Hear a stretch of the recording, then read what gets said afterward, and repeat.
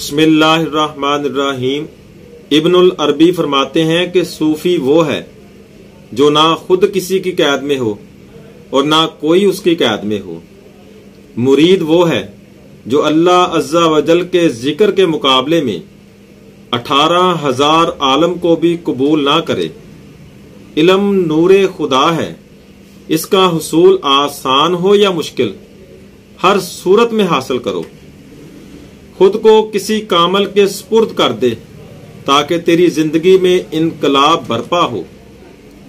दिल आईनाए दोस्त है, इसको जितना साफ़ रखोगे उतना मज़ा देगा। दुनिया की सबसे नायाब शय मार्फत इलाही है। अपने नफ्स को मशगूल रखो, कबल इसके कि वो तुम्हें मशगूल रखे। मुरीद वो है जो रोज़े अव्वल से अल्लाह को अपना मकसूद बना ले और जब तक वहाँ रसाई ना हो, किसी भी शय से मुतमिन ना हो और ना ही किसी और की तरफ़ इल्तफात करे। अल्लाह से दिल लग जाने की अलामत यह है कि उसके दिल में अजमत इलाई के अलावा कोई भी शय गर ना कर सके।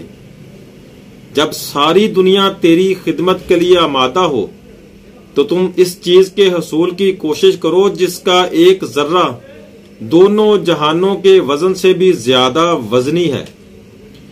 मोहूम जलाया नहीं जाता और दिल की आँख गैर की सुई से नहीं सी जा सकती। तस्वुरात प्यास बुझाते हैं, फ़िक्र आतश पैदा करती है और तलब मतलूब तक पहुंचाती है। काश शुदा ज़मीन में तुखम नहीं डाला जा सकता और लिखे हुए कागज़ पर लिखा नहीं जा सकता। राह तोहीद एक दरियाए मोहीद है। जो शख्स इसमें गिर जाता है, वो आलम हैरत में डूब जाता है। जो लोग मुसीबतों और सख्तियों में जीना नहीं सीखते, वो हमेशा खाम रह जाते हैं। औरत को अपने प्यार में पागल करना है तो उसको इज़्ज़त दो। औरत को इज़्ज़त दोगे तो वो खुद ब खुद तुम्हें पसंद करने लगेगी। बुलंद हिम्मती से ही हर मुकाम पर फतह हासिल की जा सकती है।